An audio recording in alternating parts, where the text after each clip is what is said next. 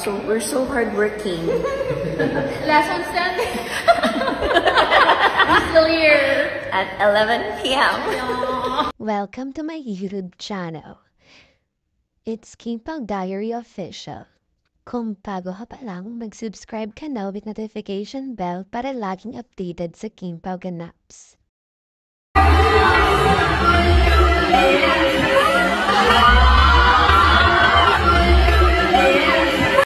Grabe nga talaga kitang kita nala si King Chu nang gumaganda at bloom na bloom at nung na-flash ang kanyang face sa big screen ay buong arena sa Toyota, California ay nagsisigawan.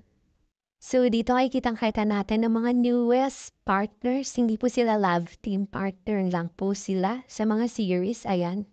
Kitang kita naman natin dito si Paul Avellino na galit daw di umano dito kay Kim Chu. Kasi kitang kita natin sa mata ni Paul na na grabe guys medyo iba ang mata ngayon ni Paolo. Pero that's not a conflict between them of two. Wala po silang away, guys.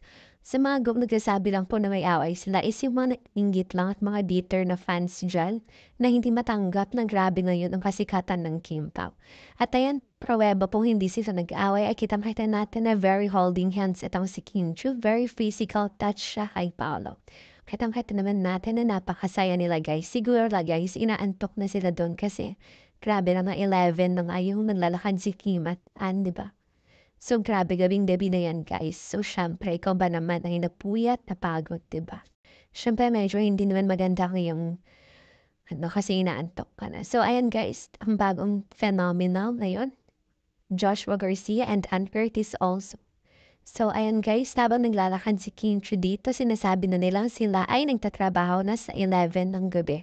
Kaya grabe ang binibigay nilang effort and dedicated sa work para sa ating mga kapamilya sa ibang bansa. So, dito na po nagtatapos ang ating video.